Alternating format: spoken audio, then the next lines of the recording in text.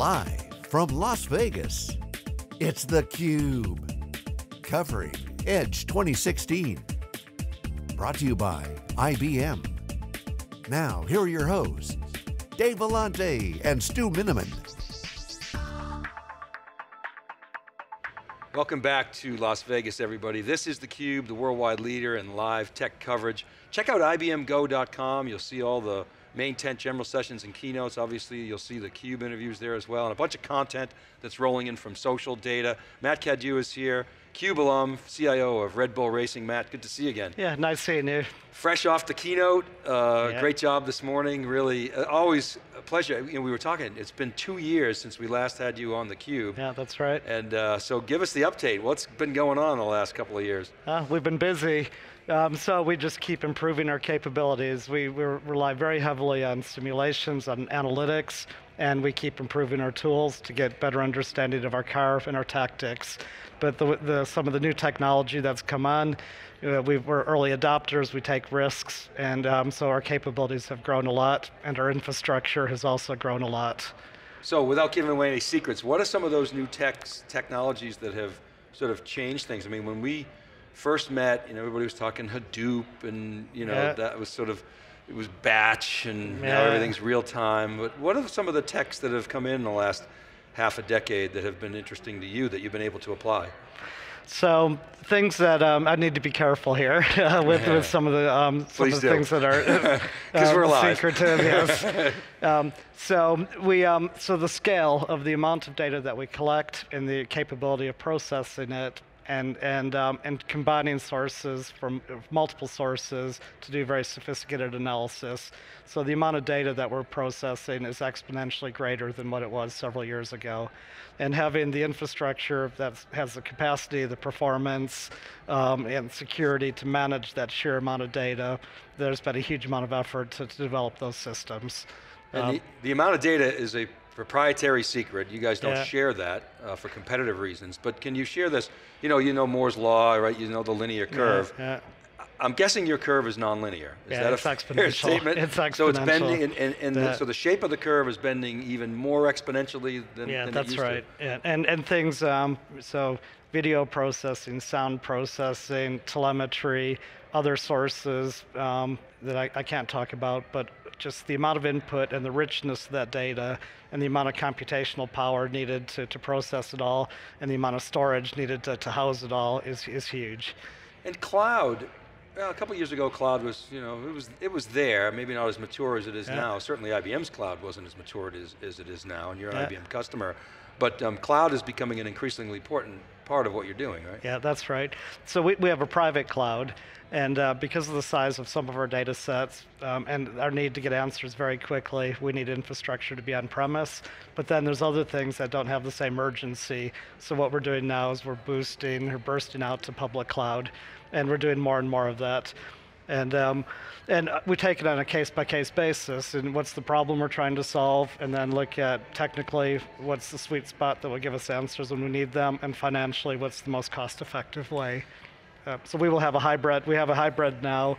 We will use the trend is to use more public cloud, but we will always have on-premise uh, for some of the critical number crunching tasks in your keynote, you talked about a spectrum of components in your stack, many yep. of which involved an IBM Spectrum Spect brand. Right. But there were supercomputers in there, LSF, there was Power, Aspera, which was a which is an acquisition that IBM just recently yeah, brought in, right. which I think is file related. Uh, obviously, cloud. What can you tell us about your your stack? Yeah, so um, IBM software-defined infrastructure has a huge footprint in our estate. And so um, Spectrum LSF is what we use to schedule all of our supercomputers. And, um, and so all the heavyweight simulations and analysis tools um, are, it's managed and controlled by Spectrum LSF. The hardware that it's managing comes from multiple vendors, some on-premise, some off-premise. So that, that's one key product. Um, managing all the data on-site everything doesn't need to be on an expensive disk.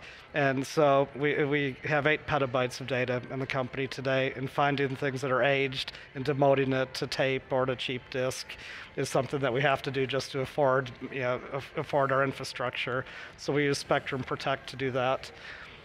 Uh, and then we also are using Symphony, um, Spectrum Symphony. So we do a lot of re- real-time analysis where we get telemetry and live feeds, and we have uh, dedicated clusters for that. And it's Symphony that's managing those that real-time environment. So IBM software is really integral to um, our engineering infrastructure. Do you keep all your data? I mean, um, we try to get rid of, uh, low value things. So we things that can be derived, we get rid of, um, and our retention periods are usually three or four weeks. Sometimes you'll um, you'll build on, on an analysis you've done, so you keep it around for a while if you're still iterating it. But then after a while, you need to demote it, and everything derived disappears. But how you set up the experiment, we, we tend to keep because we may need to dust it off in the future. But there again, you can demote it to more affordable, slower storage. So, um, so we use uh, IBM Protect and rules in there to help uh, delete and demote that data. Yep. Matt, can you speak to kind of the speed of innovation and how do you make sure that your infrastructure can keep up? You know, we, we talk about the explosion of data, the yeah. explosive uh, of all of the sensors that you have. You know, how do you know that what you buy today is going to be okay for what you need to do in a year or two from now? Yeah, so we, our company is a very technical company, and engineering is very, very technology savvy. And, and so as they are trying to do more with simulations and analysis, um, we have a huge demand put on us to find the right solution. So how do we know that we're doing a good job? Um, that the guys, our, our, customers internally tell us we're doing a good job, or at least they don't complain. Um, how do we find the right solutions? We go out and we talk to the leaders in the marketplace, either leaders or, or new up and coming companies. And so we do proof of concepts, we do a lot of experiments, and when we make a procurement, we know that we're buying something that's fit for purpose. Let's talk about Formula One cars. So, tell us more about Formula One cars. You know, give us the stats, like the horsepower, the speed, how fast they go. Okay, yeah. Give us some fun, fun facts. Yeah. So F1 cars, it's the top of the food chain. They're the most sophisticated racing cars. Um, the cars are lightweight. They weigh just over 700 kilograms. Um, they have a power unit that has about 750 brake horsepower, um, and that's uh, provided by an internal combustion engine and also hybrid technology. Um, so they're also instrumented with a lot of electronics, so onboard computers, control systems.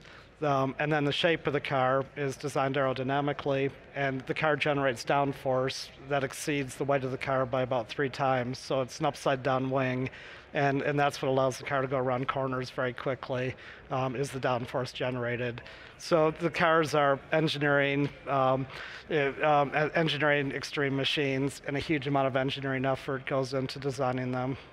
Right. So Matt, one of the things we look at kind of automotive in general is the you know blurring the lines between kind of the person and the machines. Yeah. You know, how do how do you look at that on the racing side? Yeah.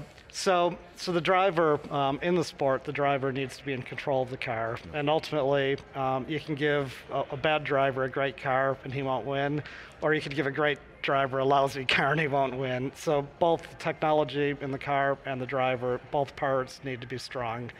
And in the sport, um, we, we're not allowed by regulation to autonomously change settings on the car. The driver needs to be in control. But if you look at the steering wheel and the number of uh, dials and buttons on there, there are a lot of modes that the driver can put the car into. So we provide decision support to a driver that's data driven with analysis and simulation. But the driver ultimately, you're asking him to push the car to the outer, outer limit and, and he needs to be comfortable in what he's doing. Right. So it's a combination of driver and analytics and giving good advice to the driver. All right, so Watson can't be behind the wheel yet. No, no, and, uh, and never will be. Hopefully ever. But how is that adjudicated? I mean, is there some kind of you know Big Brother watching? Yes, or? there is. Yeah, okay, um, good. So we um, so we have a digital radio and intercom system, and the race authorities can hear everything we're saying. Um, and then also, when the car pulls into the garage, everything that's logged on the car, um, the authorities plug in, and they'll know exactly what we were doing technically. And um, so, in, the sport, you push the boundaries to you know to the extent that you can, but we also need to be careful that we're compliant because we can be disqualified or fined if um, if we're not. It, is there gray area? Where yeah always right always so you I, I, presume you're pushing the envelope yeah of course I, I, think if you're if you're wimpy and you're too conservative you won't win races Um, but then also you, you do need um, a basis to say you know, what we're doing is legal, and um, and yeah, and of course we push um, as hard as we can. If it's not been tested in the in the racing compliance, you know, court, then you yeah. you get a ruling. Yeah, that's right. But yeah, the, the, the driver is really really critical because you're asking him to absolutely push to the limit, and if he doesn't actually trust the car, and when he you know turns the wheel, if if it actually if he doesn't believe the car will be in control, then he won't push as hard. So it's really important that um, that the, he's comfortable with the car. And, and then also we show the driver a lot of the analysis and we explain what's happening under the covers. So the, the more he understands the car, the harder he will also push it.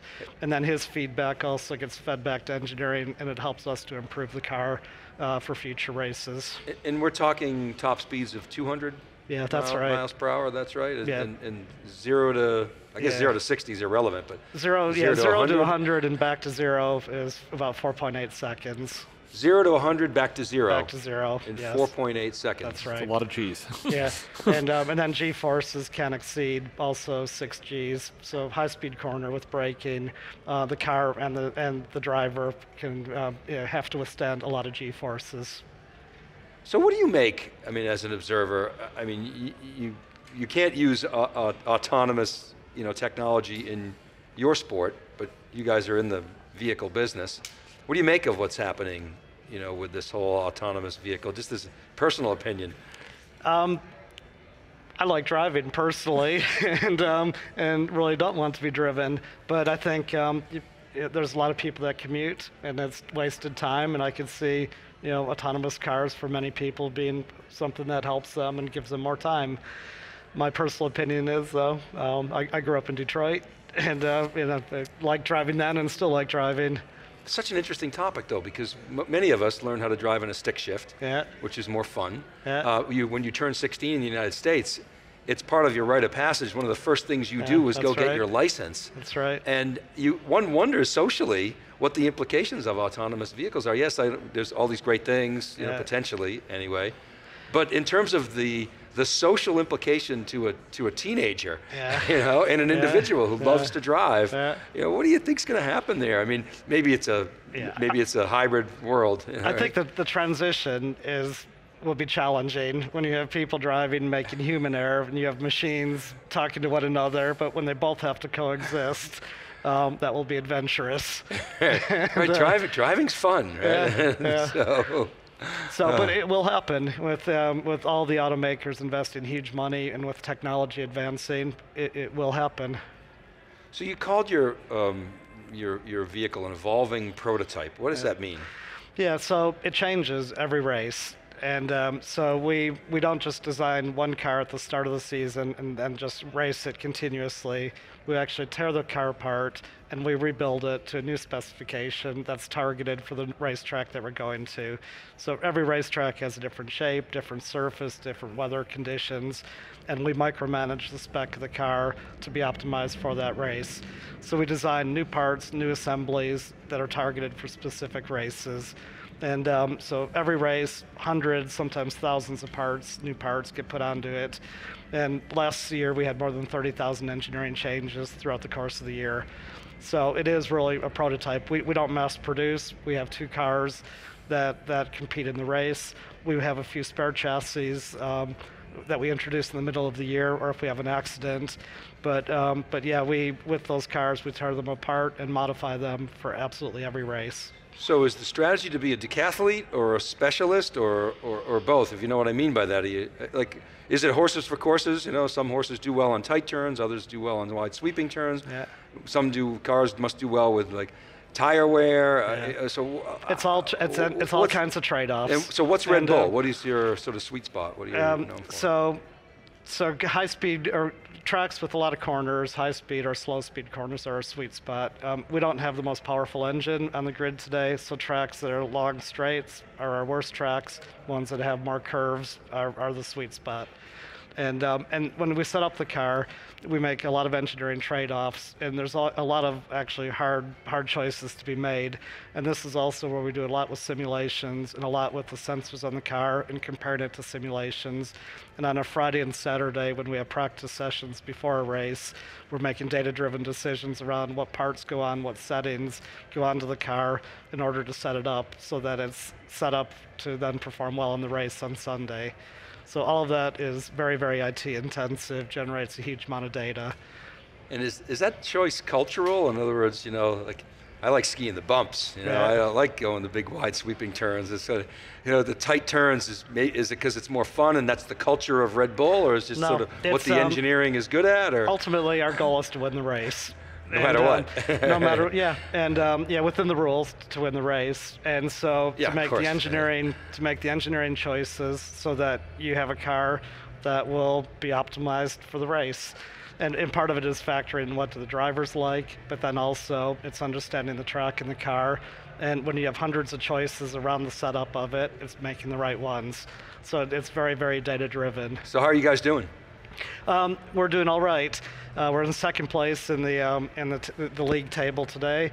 Uh, Mercedes um, is the top team, and we're closing the gap to them, and we're above Ferrari. So, that's pretty good. In between so, Mercedes and Ferrari, that's yeah. good. and uh, so yeah, we're we're improving, and um, and we're in a strong position. And second, um, next year is interesting, where there's a major rule change. So right now we're also splitting engineering resources and putting a lot of effort into next year, which has some very, very big changes to the architecture of the car.